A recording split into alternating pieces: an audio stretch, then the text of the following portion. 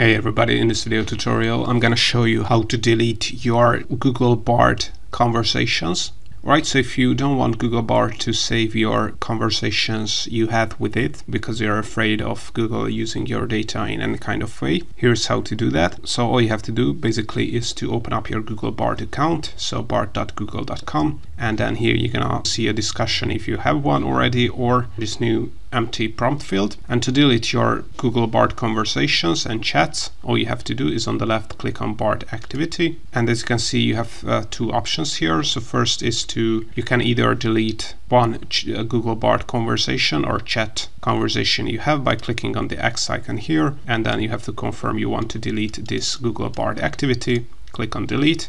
Then as you can see, deletion is complete and click on got it. And if you want to completely delete all your Google Bard activities all the all the conversation and chats you had with Google Bard then you can click on delete here and you can select all time here and then all your previous Google Bard conversations will be deleted if you want to do that. Just click on delete and now as you can see deletion complete. And if we X this out you can see that no activity appears here so all Google Bard conversations have been deleted. So now this is how to delete your Google Bard chat conversations.